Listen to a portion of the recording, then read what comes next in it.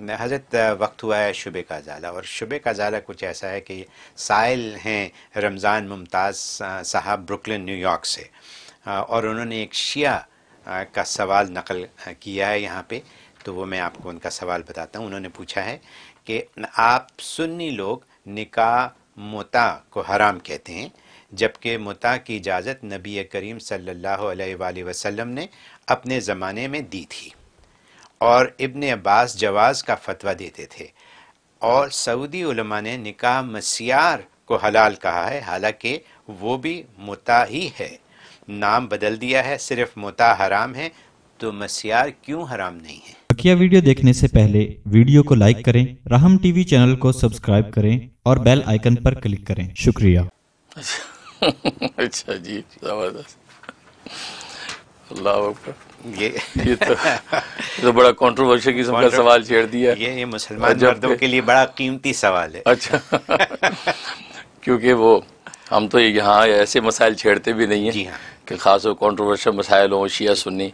तो हम तो सारी उम्मत को लेके चलते हैं। सही अब ये कि सवाल करने वाले सवाल कर दिया और ऐसा चुभता हुआ सवाल कर दिया है जी। और किसी दूसरे की तरफ़ से कर दिया है। तो पहली बात तो यह है कि अ, आप जिस मुता को अगर जि, जिस मुता का आप ज़िक्र कर रहे हैं तो अगर आप मुता को मनसूख नहीं मानते तो फिर आप वही मुता कर रहे हैं ना जो नबी ने इजाज़त दी थी। नबी ने जिस मुता की इजाज़त दी थी आप फिर वही मुता किया करें। पिया अब्दुल्ला इब्न अब्बास रज़ी अल्लाह अनुमा ने जिस के जायज़ होने का फतवा दिया था आज आप वही मुता किया करें ना। आपने अपना खुद साख्ता मुता क्यों बनाया? देखो नबी ने इजाज़त दी मुता की जैसे आपके और हदीसों में है हैं? ठीक है? तो इसका मतलब वो मुता कोई फाशी और यानी नहीं होगा वो किसी न किसी हदूद पे ज़रूर होगा। कोई नबी इजाज़त दे रहे हैं ना बकौल आपकी उन्होंने इजाज़त दी। फिर अब्दुल्ला इब्न अब्बास रज़ी अल्लाह तुमा जैसा सहाबी उसके जवाज़ का फतवा अगर दे रहा है तो इसका मतलब है कोई किसी हदूद क़यूद में होगा वो मुता। वो उरियानी और फाशी और निरा जिना नहीं होगा। ठीक है ना? अगर निरा जिना हो तो फिर जिना की हिल्लत अगर साबित हो जाए तो जिना हराम कब होगा फिर? ठीक है ना? तो लिहाजा अगर आप ये कहते हैं कि नबी ने इजाज़त दी थी मुता की निकाय मुता की तो फिर आप वही बुला मुता करें ना जिसकी इजाज़त दी थी। या इबन अब्बास ने जो फतवा दिया, वही वाला मुता करें। आपने अपना मुता क्यों घड़ा? पहला सवाल। दूसरा सवाल यह है कि ये एक मिसकनसेप्शन जेन से निकाल दें कि लोग आमतौर पर कहते हैं, ये नबी ने इजाज़त दी थी मुता की। नबी ने इजाज़त नहीं दी मुता की। ये बड़ी अहम बात मैं बताने लगा हूँ। ये बहुत आम है कि नबी ने हलाल कर दिया मुता तीन दिन के लिए। नबी ने इजाज़त नहीं दी। नबी ने उसको नाजायज़ नहीं कहा था। क्योंकि मुता तो ज़माना जालियत में इसी तरह चलता आ रहा था जैसे शराब और सूद चलता आ रहा था। अब शराब और सूद जैसे चल रहा था मुआशरे में तो नबी ने उसको हराम नहीं कहा खामोश रहे। और पंद्रह बीस साल तक खामोश रहे। यानी आपको पता है, नबूवत की बेसत के पंद्रह बीस साल तक सूद और शराब हराम नहीं हुआ। पंद्रह बीस साल के बाद आपने यकीन अल्लाह की वही के साथ जो है वो आयात उतरी तो शराब को उसको हराम कर दिया। क्योंकि एक नुक्ते की बात याद रखें, इस्लाम का कमाल ये है कि जिस चीज़ का अमर किया तो फ़ौरन कर दिया, ये करो। जिस चीज़ को हराम किया, जो चली आ रही है, उसको स्टेप बाई स्टेप किया। क्योंकि ज़ाहिर किसी चीज़ रुकना आसान नहीं होता। अब शराब को स्टेप बाई स्टेप हराम किया। ठीक है ना? तो बिल्कुल इसी तरीके से जैसे नबी ने सूद और शराब जो है, उसको हराम नहीं कहा पंद्रह बीस साल तक। और जो लोग कर रहे थे, उनको आपने नाजायज नहीं करार दिया और उनका मुआवजा नहीं किया। बिल्कुल इसी तरीके से मुता भी जमाना जाहलियत से चला आ रहा था। तो नबी ने उसको हराम करार नहीं दिया, खामोशी इख्तियार रखी। यहाँ तक कि एक गजबे के मौके पर जो है, वो साहबा इकराम रिजवानुल्लाह अली मजमैन मुजाहिदीन इस्लाम घरों से दूर थे। वक्त काफ़ी हो गया, अब उनको ये ज़रूरत पेश आ गई अपनी बीवियों की। तो उन्होंने फिर ये मुता जब वो, मुता का निकाह किया तो नबी ने उनको मना नहीं किया, खामोशी इख्तियार की कि चलो, कोई बात नहीं, बेचारे घरों से दूर है। कि क्योंकि अभी हरमत यकीनी आई नहीं। अब जो तीन दिन उन्होंने कर लिया, अब नबी पाक पर यकीन वही के ज़रिए से हरमत को हुक्म आ गया। तो नबी ने गजवा खैबर में गजवा खैबर के बाद आपने ऐलान कर दिया कि मुता हराम हो गया क़्यामत तक के लिए। आपने मना कर दिया। तो अब भी मना किया है। तो आपने जायज़ कभी नहीं कहा, हलाल कभी करार नहीं दिया। आपने उसी दस्तूर के तहत जैसे पहले चला रहा, खामोश रहे, लेकिन मुआवजा नहीं किया। जिन्होंने किया उन पर मुआवजा और सख्ती नहीं की। लेकिन जब हुरमत आ गई, अब आपने कह दिया मुता हराम क़्यामत तक के लिए। गजबा खैबर में कहा, फिर गजबा ओतास गजबा ओतास के मौके पर फिर आपने ऐलान को दोहराया कि मुता हराम कर दिया गया। ठीक है ना? और फिर ये क्या हुआ? गजबा तबूक का जब मौका आया तो गजबा तबूक के मौके पे खेमों के करीब आपने मुजाहिदीन इस्लाम की खेमों की कुछ औरतें फिरती नज़र आईं। आपने पूछा, भाई, ये कौन औरतें हैं? कहा, जी, ये मुते वाली औरतें हैं। मैं तो दो मरतबा गोया कि इसको हराम करार दे चुका हूँ, ऐलान कर चुका ये क्यों है? क्योंकि ज़ाहिर है कि ऐलान आहिस्ता आहिस्ता आहिस्ता फैलता है। बल्कि आज सोशल मीडिया में भी कितने लोगों को बहुत सी खबरें नहीं पता लगती। कि यार सोशल मीडिया पर पता चला फला खबर। ओ अच्छा यार, मैंने देखा नहीं। जिस सोशल मीडिया में पल पल की खबर आती है, उस वक्त लाइलमी हो जाती है। उस वक्त तो इतना सादा जमाना था कि एक बात दस बंदों तक पहुंचाना मुश्किल। तो कुछ नए लोगों को नहीं पता चला तो वो अभी भी मुता कर रहे हैं। तो नबी पाक गजब तो में गजबनाक हो गया, हदीस में आते इतने गुस्से हो गए कि आपका चेहरा सुर्ख हो गया, इतना गजब तो ये शिया हजरात इस बात का जवाब दें कि गजब तबूक पे आप इतना गुस्से क्यों हो गए? इतना गजब क्यों हो गया आपने मुता को सुना तो? कहा कि भगाओ इनको। मैं मना कर चुका हूँ। फिर आप जब उम्र के लिए आए तो आपने जो है वो बैतुल्ला के दरवाजे पकड़ के ऐलान किया, कहा कि क्यामत तक के लिए मुता हराम कर दिया गया है।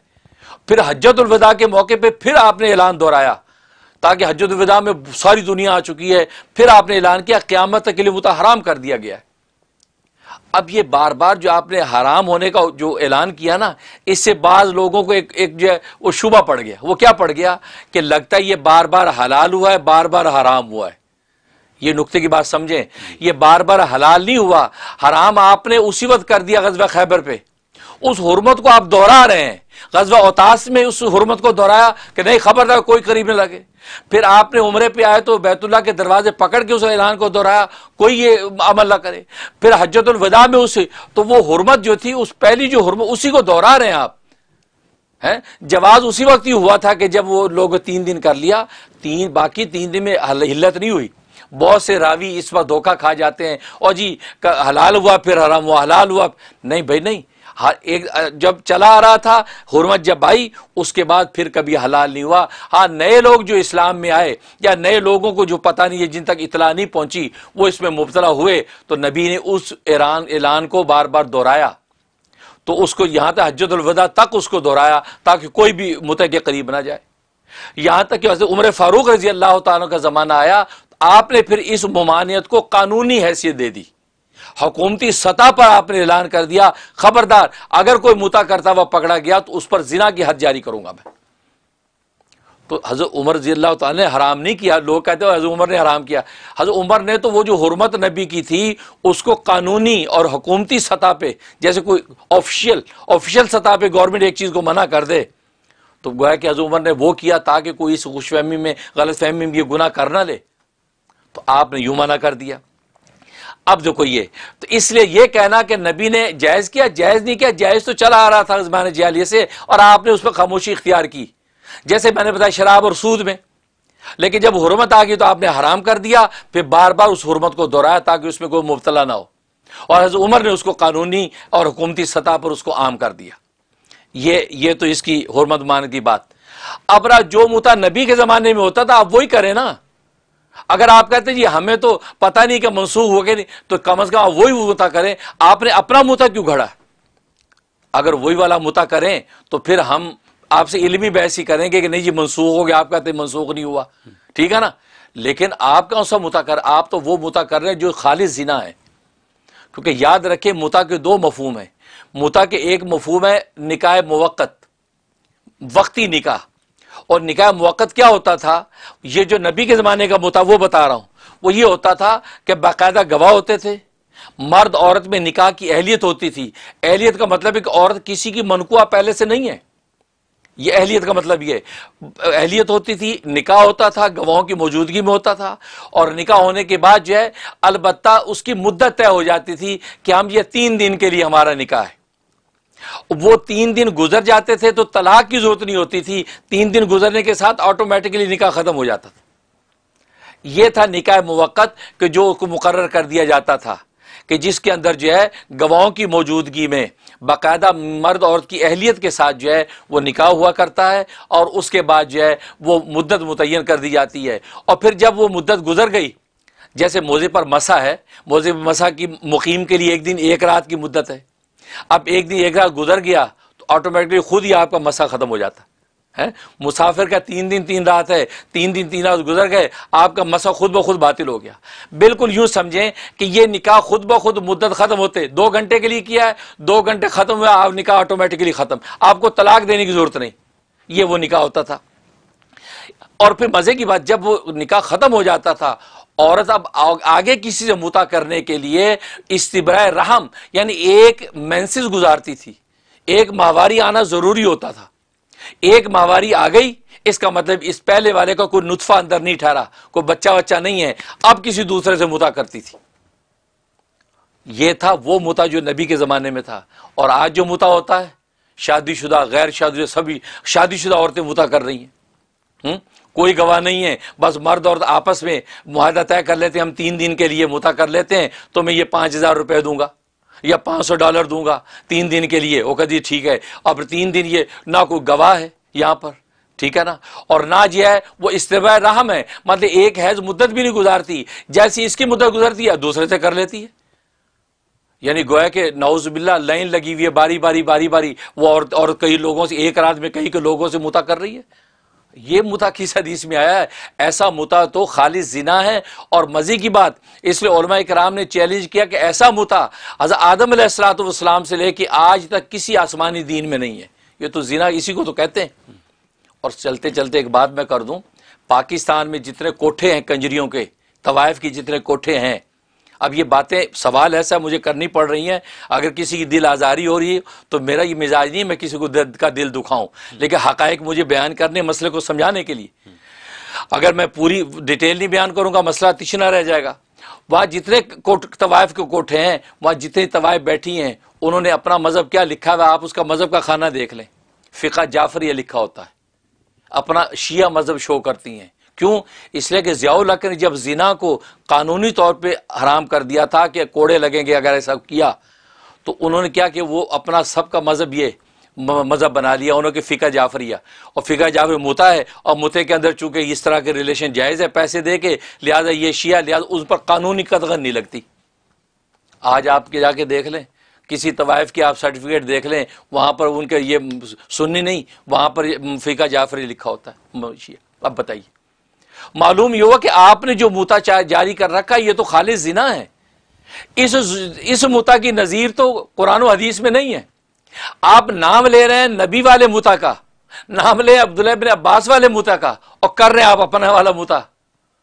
तो इसकी जो इजाज़त नहीं लिहाजा इसलिए वो जो निकाय मुवक्त के माने में जो मुता है, ये नबी के ज़माने में था, और जिसका मैंने कहा, मनसूख कर दिया गया। और वो मैंने तफसील बता दी। और आज जो है ये मुरवजा मुता जिसको कहते हैं आज जो मुता रिवाज पा रहा है इसकी नज़ीर कहीं नहीं है ये खाली जीना है और कुछ भी नहीं। ठीक? ये तो मुते की हकीकत हो गई। और दूसरी बात निकाय मिसियार। निकाय मिसियार जो सऊदिया में ओलमा ने इजाज़त दे दी है तो ये भी मुता नहीं। मुता नहीं आसमान ज़मीन का फ़र्क है। निकाय मिसियार मिसियार है यूसर से। यूसर का माना आसानी ऐसर आसान। ये एक आसान निकाह है। आसान निकाह का मतलब यह है कि आज की तेज़ रफ्तार ज़िंदगी दुनिया में होता यह कि एक औरत मालदार है। वो सोचते बस मुझे एक मर्द की ज़रूरत है। वो दिन में किसी मुझे आके मिल लिया करे। मुझे उससे कोई ना नफका नहीं चाहिए, सुकना नहीं चाहिए। मैं अपना खुद बिजनेसमैन औरत हूँ। मुझे मैं टाइम भी नहीं, मैं कराते उसको दूँ। या मर्द है, वो इतना बिज़ी है, वो कहता है, यार, मेरी अपनी ऑलरेडी फैमिली है, मैं सफ़र में निकला हुआ हूँ तो मैं फैमिली तो नहीं बता सक बना सकता कि रातों में तुझे रखूँ। हाँ दिन दिन में मैं तेरे साथ रिलेशन कायम कर लूँगा और तुझे पैसे दे दूँगा। ठीक? ये निकाय मिसियार। निकाय मिसियार में बाकायदा गवाह होते हैं। मर्द औरत की अहलियत के दोनों अहल हैं। ठीक है ना? अगर मर्द की ऑलरेडी चार बीवियाँ हैं तो पांचवी वो नहीं कर सकता। जबकि मुता के अंदर तो चार बीवियाँ अगर हैं तो आप दस मुते कर सकते हैं। ठीक है ना? तो वो नहीं कर सकता। तो उसको अहलियत होनी चाहिए। दूसरा, उसका बाकायदा गवाह होते हैं। ईजाब कबूल होता है। महर मुकर होता है। हर चीज़ मुकर होती है। हाँ तलाक का इख्तियार मर्द औरत को दे देता है। समटाइम कि भी देखो, मैं तुम्हें तलाक इख्तियार देता हूँ और हम ये निकाह कर लिया। अब मसले यूरोप में जाके उसने निकाह किया। अब यूरोप से जब वापस आता तो कह दिया, आपको मैंने तलाक इख्तियार दे दिया है, जब तेरा जी चाहे तलाक दे देना। औरत जब खुद अपने आप को तलाक वाक़ कर लेती है और निकाह से निकल जाती है, इद्दत गुजारने के बाद किसी और से निकाह करती है। तीन माहवारी पूरी इद्दत गुजारती है। तो ये निकाह मिसियार तो बाकायदा निकाह है। कि जो सऊदिया ने जिसको डिफाइन किया है यह बाकायदा निकाह है। इसके अंदर तो कोई मुते की नजायज, जिना वाली बात ही नहीं है। तो उसूली तौर पे निकाय मिसियार पर आप एतराज़ कर ही नहीं सकते। उसूली तौर पर निकाय सही की सारी शरात उसके अंदर मौजूद है। और ये सफरी तौर पे, जैसे मुता अच्छा मुता जो किया जाता है आज, ये मुता तो हज़र, सफ़र सब में करते हैं। जबकि नबी के ज़माने से सफ़र के अलावा तो ये मुता करना साबित ही नहीं है। आप तो वतन के अंदर भी कर रहे हैं और नबी के यहाँ से कोई ऐसी मिसाल नहीं मिलती, साहबा से कोई ऐसी मिसाल नहीं मिलती कि उन्होंने वतन में रह के मुते की हों। वतन में तो बीवी बच्चे, फैमिलियाँ मौजूद हैं। हाँ सफ़र में चले गए गजबे में चले गए तो एक सफरी इजाज़त थी, लेकिन आज का मुता तो सफ़र गैर सफ़र हर जगह हो रहा है।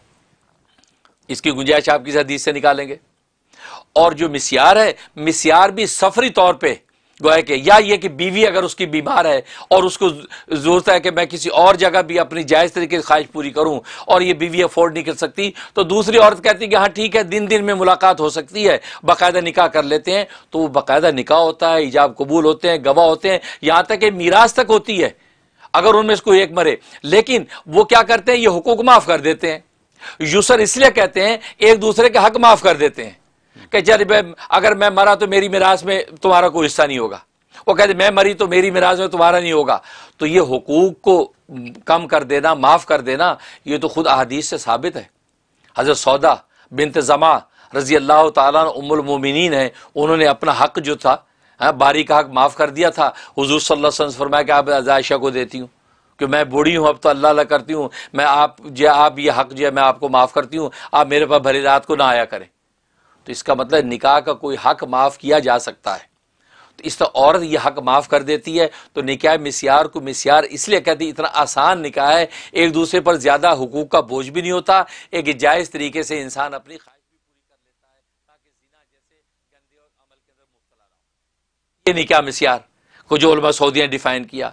अब रहा ये सवाल कि उसके अंदर कोई मुआशरती खराबियाँ पैदा होती हैं या नफसियाती खराबियाँ पैदा होती हैं? बहुत से स्कॉलर मैं सुनता हूँ, वो नफसियाती और मुआशरती खराबियाँ बयान कर करके उसको हराम करते हैं। भाई, मुआशरती खराबियाँ अपनी जगह। मुआशरती खराबियाँ तो अहले किताब से निकाह करने में भी पैदा होती हैं। तो अहले किताब से निकाह को हराम आप करार दे पहले। हैं? उसमें और नफसियाती खराबी उसमें पैदा होती हैं। अब ये देखो, एक घर की मालकन, घर के नौकर से शादी कर ले तो उसके अंदर भी नफसियाती माशरी खराबी पैदा होती है कि नहीं? हालाँकि शरीय उसको हराम नहीं कहती। एक मालकन अपने ड्राइवर से शादी कर ले, हमारे माहौल मुआशरे में आग एक तूफ़ान खड़ा हो जाता। है लेकिन शरीयत के अंदर बिल्कुल जायजा कर सकती है है? या ये एक मालिक अपने घर की नुकरानी से शादी कर ले तो मुआशरती नफसाती खराब पैदा होती फिर, लेकिन शरीय कहती, निकाह जायज़ है भाई, एक मुसलमान औरत से निकाह कर लिया, नुकरानी है तो क्या हुआ? सवाल तो अगर नफसियाती और मुशरती उस पर आप जाएँगे तो तो पहले आप मुफक्र इस्लाम अगर बने हुए हैं तो आप पहले आप वो अहले किताब के निकाह को आराम करें। हैं? घर की नुकरानी से निकाह को आराम करें। ड्राइवर से निकाह को हराम करें। जब उसको हराम नहीं करते और उसूली नज़र में कह देते कि वो निकाह जायज़ है, उसूल उसूल शरीयत के मुताबिक है तो फिर यहाँ पर उसूल शरीयत कहाँ चला जाता है? लिहाजा निकाय मिसियार बाकायदा निकाह है और निकाय मुता, जो आज आजकल राइज है, ये खालिश जिना है, इसके अंदर कोई गुंजाइश नहीं है और आज तक किसी आसमानी दीन में इसकी गुंजाइश नहीं हुई। और नबी के ज़माने में जो निकाय मुता था, वो निकाय मुवक़ था। उसकी, उसके ख़त्म होने की, का तरीका वक़्त का गुजर जाना था। बाकी सब वही था, गवाह भी होते थे और ईजाब कबूल बाकायदा होता था। इसी तरीके से जो है, वो पूरी सब रकम तय होती थी, महर की, सब चीज़ें मौजूद हैं। तो वो निकाय मुता होता था उसके बाद जो है, वो इस्तर रहम भी होता था। यानी एक मवारी गुजारने के बाद अब ही शादी कर सकती थी। तो वो तो एक ऐसा निकाह था। तो नबी भाई ऐसी बेहयाई की इजाज़त भला दे सकते हैं? इसका मतलब यह है कि नबी ने जिन हदूद और क्यूद के साथ मुते की इजाज़त दी थी बकौल आपकी इजाज़त दी थी मैं तो कहता नहीं इजाज़त दी वो तो चली आ रही थी आपने मुमानत नहीं की थी। जब मुमानत अब आपने मुमानत की। तो मालूम ये हुआ कि लिहाजा उसको इसके साथ टैली करके आप ये धोखा ना दें कि निकाय मिसियार भी निकाय मुता है। लिहाजा आज अगर मगरबी दुनिया में या किसी को निकाय मिसियार की ज़रूरत है तो इन हदूद के अंदर रह के नेक नीयत के साथ अगर वो निकाह करके अपनी पाक दामनी को कायम रखता है तो उसके अंदर कोई जो है उसूली एतराज़ नहीं हो सकता। बिल्कुल जायज़ और बिल्कुल पाकिदा और तैयब होगा। बहुत खूब। हज़रत बहुत डिफ़िकल्ट सब्जेक्ट है आ, और कॉम्प्लिकेटेड है। आपने इसको एक्सप्लेन किया आ, जितनी हद तक आप कर सके आपने कर दिया सारा। तो मुझे उम्मीद है कि आपको पूरा जवाब मिल गया होगा।